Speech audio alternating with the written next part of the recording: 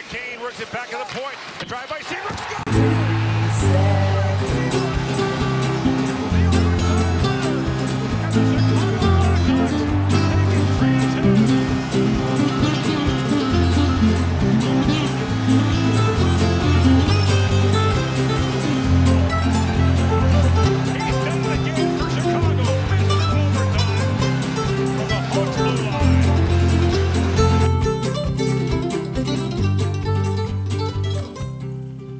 Welcome back to Four Feathers with Jim Kress. I am your host, Jim Kress Jr.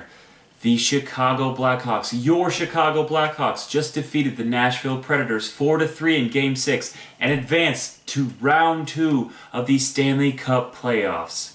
The Chicago Blackhawks will face off against the Minnesota Wild, who defeated the St. Louis Blues in Game 6 today. The Chicago Blackhawks will get home ice for a series that will start later this week. Now let's move it on to our four feathers. Let's start us off with the green feather. I've got two green feathers to hand out this week. They're going to Jonathan Toews and Patrick Kane. Patrick Kane has scored seven points with two goals and five assists in his six games, and Jonathan Toews in his six games has eight points with three goals and five assists. The two have stepped up big time this week and have helped catapult the Blackhawks into the second round. My yellow feather of caution is going to the defense. Now it has taken two separate goalie changes to get this defense back on track to where they need to be.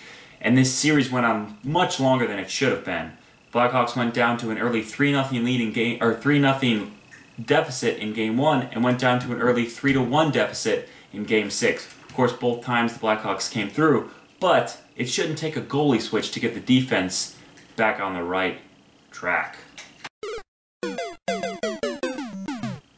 My red feather could very easily go to Kris Versteeg this week. Now, he hasn't been playing very great, but the Blackhawks advanced, and you know what? I think it's time to poke fun at a team that didn't.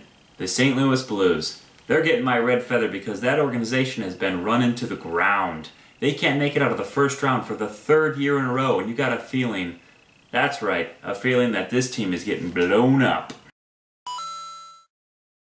The orange feather of statistical oddity is, well, it's a bit of a doozy. See, in a series like this with Nashville, the last time that Patrick Sharp, Jonathan Toews, Patrick Kane, and Duncan Keith all scored in the same game in one playoff series was back in 2010 during Game 6. Also, this is the first time in NHL history that two different goalies have come into relief and won a game in the same series.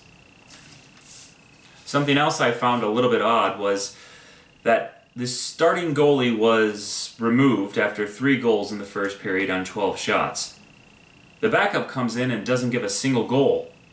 Duncan Keith then has the game winning goal to make the score 4 to 3. Game 1 and Game 6 were awfully similar. That's all I've got for you this week, folks.